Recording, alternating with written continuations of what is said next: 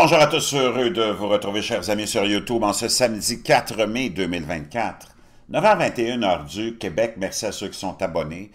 Merci à ceux qui vont s'abonner à tous ceux qui m'envoient des liens et des messages, toujours très appréciés. Chers amis, on va toucher, on va aborder un grand nombre de sujets. Et je peux vous dire une chose, il n'y a rien de rassurant dans tout ce qu'on va aller euh, fouiller ensemble on est dans une drôle vraiment, une drôle d'époque, une époque qui n'est pas facile à traverser. C'est le début de notre cauchemar. Ça fait longtemps qu'on en parle ensemble, ceux qui me suivent depuis longtemps. Je vous disais, ça s'en vient, ça s'en vient. Préparons-nous. Mais là, on est dedans. Imaginez-vous, là, on s'en va tout de suite, on plonge dans les euh, grands titres et les nouvelles que je veux vous partager. L'ère de réparation sauvage on est dans les craintes les plus élevées. La grippe aviaire fait des ravages maintenant, semble-t-il, chez les humains. Et là, on craint de plus en plus euh, une épidémie, probablement. Ça, c'est rapporté par Axios. La grippe aviaire a été détectée chez des mammifères sauvages depuis 2022. Un ours polaire dans l'Arctique, des renards roux en Europe, des pingouins en Antarctique et un large éventail d'autres animaux sauvages ont été infectés par la souche du virus de la grippe qui se propage actuellement chez les bovins laitiers aux États-Unis. Jusqu'à 75% des maladies infectieuses nouvelles et émergentes chez l'homme proviennent des animaux et la plupart d'entre elles peuvent être attribuées à la fonte sauvage, la surveillance des maladies des animaux sauvages, peut aider les scientifiques à identifier les menaces émergentes pour la santé. Les agences gouvernementales aux États-Unis et dans le monde entier surveillent les oiseaux sauvages pour détecter la grippe aviaire qui se propage dans les populations d'oiseaux sans provoquer de symptômes et sélectionnent les animaux pour détecter d'autres agents pathogènes. Mais dans l'ensemble, il y a très peu de surveillance de la faune sauvage pour détecter d'éventuelles maladies, explique Thomas Gillespie, écologiste des maladies de l'Université Emory. Une exception concerne les animaux qui sont commercialement importants, comme les cerfs, que les gens payent pour chasser. Les épidémies de grippe aviaire chez les volailles d'élevage et les oiseaux sauvages ont commencé à se multiplier dans le monde en 2020. Peu de temps après, le virus a commencé à tuer des mammifères des phoques du Chili à la Russie, en passant par le Maine, des renards en Europe et aux États-Unis. les lions de mer au Pérou et autres espèces aussi. La grippe aviaire a touché près de 20 espèces de mammifères sauvages aux États-Unis depuis 2022.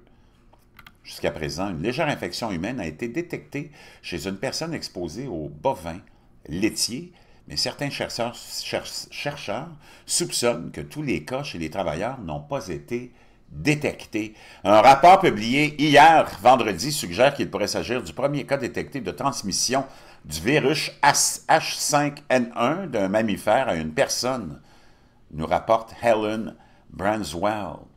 Le CDC a déclaré que le risque pour le grand public était quand même faible.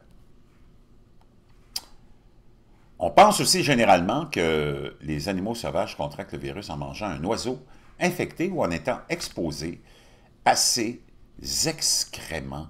Maintenant, on nous rapporte la première photo d'un ouvrier agricole du Texas qui a attrapé la grippe aviaire nous montre des saignements dans les globes oculaires. Aïe, aïe, aïe, aïe, aïe, on peut voir ici la photo. L'ouvrier agricole qui a attrapé la grippe aviaire semble être le premier cas connu de transmission entre mammifères et humains, selon les scientifiques. La première image d'un ouvrier agricole du Texas infecté par la grippe aviaire provienne, ou provenant d'une vache montre qu'il souffre de saignements dans les globes oculaires. On pense qu'il s'agit du premier cas de transmission d'un mammifère à l'homme et survient alors que les centres de contrôle et de prévention des maladies ont averti que les virus de la grippe aviaire présentent un potentiel pandémique. L'ouvrier laitier s'est rendu à l'hôpital en mars après avoir ressenti des yeux rouges et douloureux avec des vaisseaux sanguins éclatés. Ses yeux ont commencé à enfler alors qu'il n'avait pas de fièvre et un examen a montré que ses poumons étaient clairs selon une lettre publiée vendredi dans le New England Journal of Medicine. Le journal contenait également l'image de l'homme infecté ainsi que le terme scientifique désignant sa maladie oculaire, conjonctivite avec hémorragie sous-conjonctivale. Il a déclaré aux enquêteurs qu'il n'avait pas été en contact avec des oiseaux malades ou morts, mais qu'il avait eu des contacts directs et étroits répétés avec des vaches laitières dans une zone connue pour avoir été infecté ou pour avoir infecté des troupeaux. Des prélèvements oculaires ont révélé une présence importante du virus H5N1, même si peu de choses ont été trouvées dans ses poumons. Donc, on le voit, c'est vraiment, vraiment très inquiétant, cette histoire-là. Donc, on s'en va voir une autre nouvelle qui commence aussi à être très inquiétante, et c'est la guerre de l'eau qui approche. On le sait, il y a toutes sortes de conflits qui vont apparaître, des conflits territoriaux, des conflits pour l'eau, des conflits pour toutes sortes d'autres minéraux, et minéraux de toutes sortes, je peux vous dire une chose, attachez vos ceintures. La guerre de l'eau approche alors que la crise de l'eau au Mexique s'aggrave. Que ce soit par la stupidité ou la corruption, la fenêtre d'opportunité permettant de résoudre un problème d'infrastructure majeur et potentiellement de sauver des vies et gâcher, on voit ici une image de gens qui attendent avec des seaux de l'eau lorsque les habitants de Mexico se sont adressés au conseil municipal à propos de l'utilisation de l'euro par Coca-Cola. Cette question a été ignorée lorsqu'il a été confronté à la pénurie d'eau. Le président a nié l'existence d'une telle pénurie. Des vies mexicaines sont mises en jeu en espérant que juin marquera le début de la saison des pluies et les lignes le long de votre frontière continueront de s'allonger. On le sait, les gens fuient et rentrent aux États-Unis par milliers à chaque jour. Les habitants d'une ville mexicaine boivent plus de 2 litres de boissons gazeuses par jour. Cela a des conséquences sanitaires catastrophiques pour la population. Comment ont pu en arriver là? Et quel rôle joue Coca-Cola?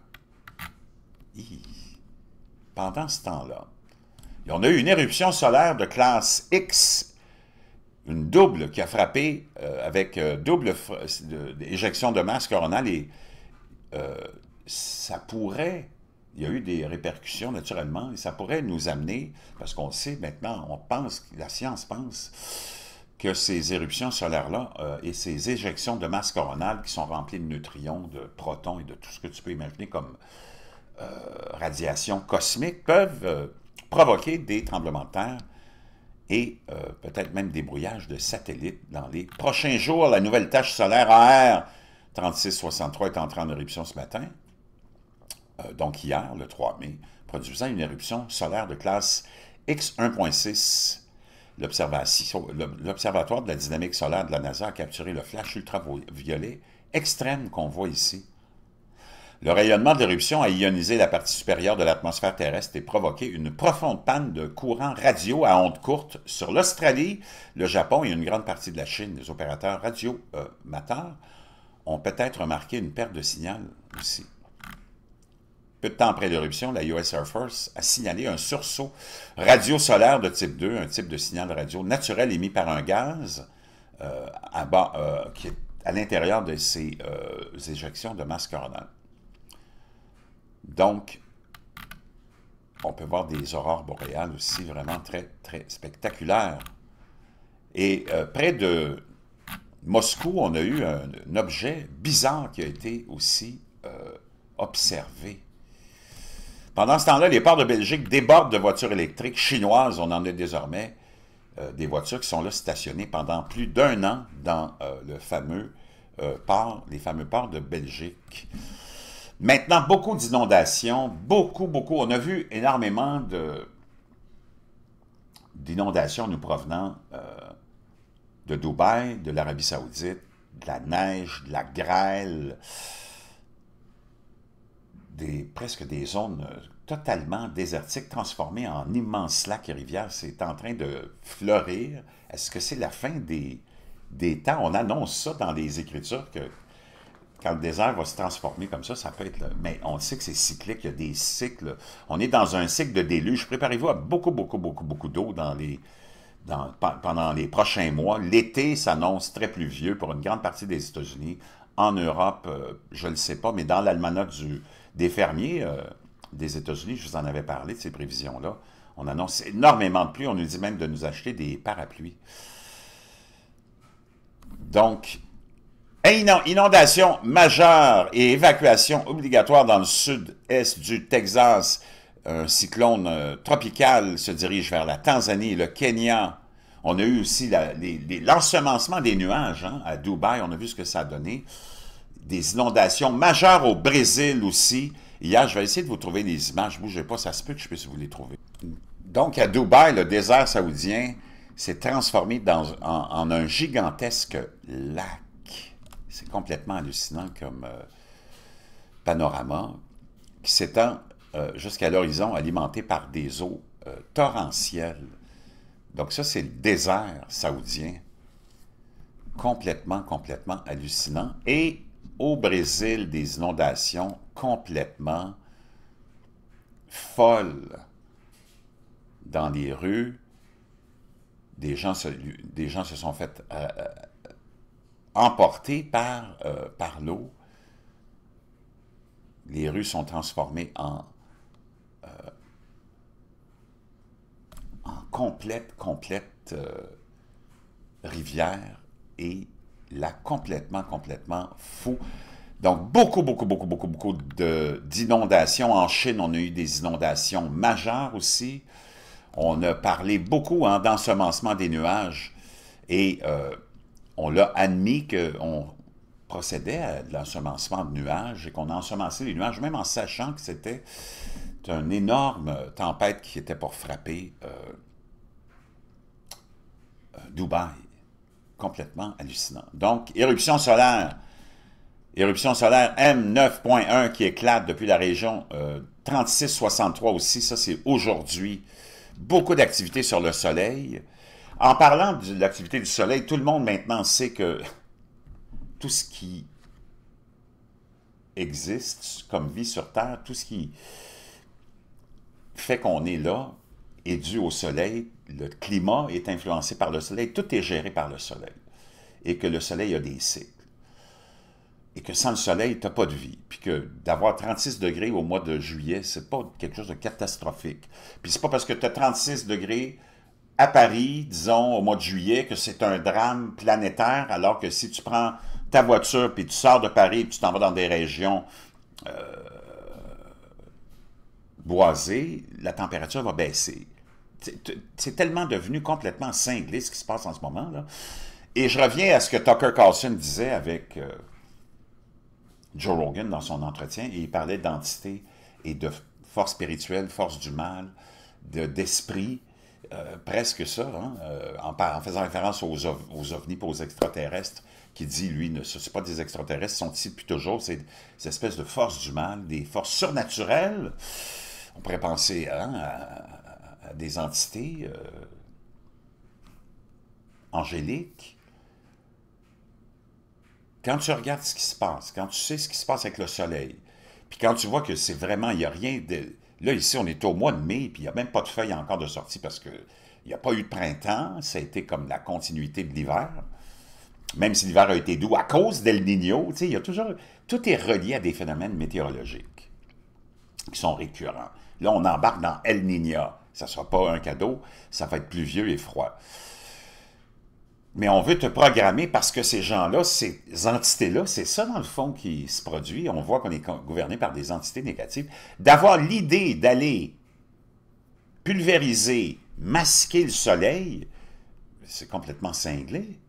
Le soleil est à la base de la vie. Imagine-toi quels sont les principes qui gouvernent, puis quelle entité a comme projet d'aller pulvériser le, l'atmosphère, la haute atmosphère, ou je ne sais pas comment, pour bloquer l'accès du soleil à la Terre. Il faut vraiment, vraiment pas être normal, là. il y a un problème vraiment de fondamentalement d'esprit du mal. Si tu n'y croyais pas, maintenant, avec, il faut vraiment être capoté, comme disent les jeunes, pour même avoir une idée et de penser à aller faire ça, comme celle d'ensemencer des nuages, celle de... Il y a quelque chose qui n'est pas normal dans ces gens-là qui nous gouvernent. Puis je commence à penser que peut-être Tucker Carlson a raison d'avoir cette hypothèse-là qu'on est gouverné par des forces du mal, puis tu as des forces du bien qui sont là en train d'essayer de... Je ne sais pas, mais des pluies extrêmes provoquent l'effondrement mortel d'une autoroute à Guangdong en Chine hier, faisant 48 victimes. Encore là, en Chine, on utilise beaucoup l'ensemencement des nuages. Voyons. Activité éruptive accrue et émissions élevées de dioxyde de soufre au volcan Toufoua, Tonga. Des inondations catastrophiques ont frappé Rio. Je vous ai montré des images au Brésil, faisant au moins 29 victimes et 60 disparus. Des pluies extrêmes provoquent l'effondrement mortel d'une autoroute. Éruption majeure au volcan Ruang, ça c'est une autre chose. Ce volcan-là est en train de cracher depuis des jours et des jours à des hauteurs hallucinantes, des millions de tonnes de